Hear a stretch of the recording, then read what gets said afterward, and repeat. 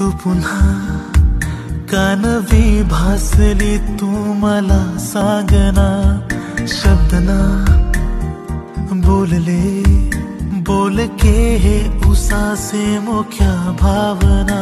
काहे होते असे आज माझ्या मना, ते तुझ्या सोबती एकटा मी पुन्हा।